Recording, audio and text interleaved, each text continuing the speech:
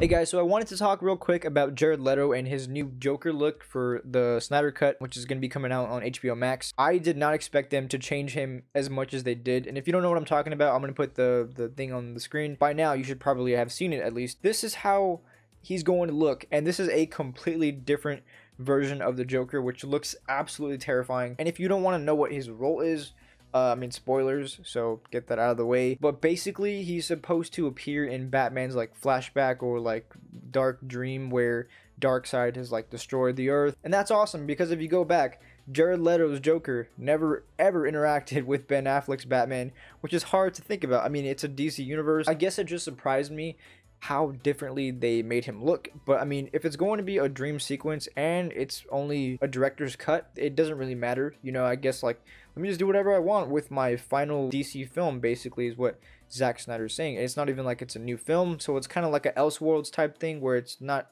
really part of the main continuity anymore. So, I mean, whatever. And I do have this Joker back here.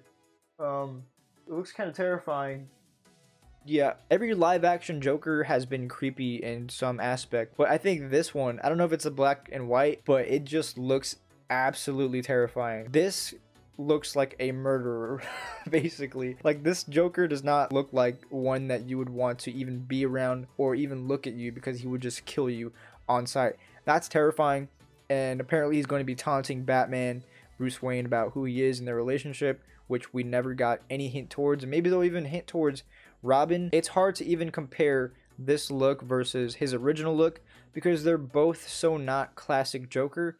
And I don't think that's what they were going for. I don't think they picked him to play a classic, you know, Joker like that right there. But in my opinion, I think it is an improvement because he doesn't have the tattoos that say damaged and say I am the Joker and I am not right in the head and I am crazy. So yeah, I, I like this direction better. Not like we're going to get any more Jared Leto Joker anyway. But yeah, it is nice that Jared Leto's getting a chance to play the Joker one more time. And then Ben Affleck's going to be able to play the Batman one more time because their runs were kind of just ended awkwardly. Um, so I think it's cool that they're actually being able to play them at least one more time and give it, you know, their best shot, knowing that that's the last time. So yeah, thank you guys for watching. I just wanted to give you, you know, my my reaction to this, and I thought it'd be a fun little video to make real quick.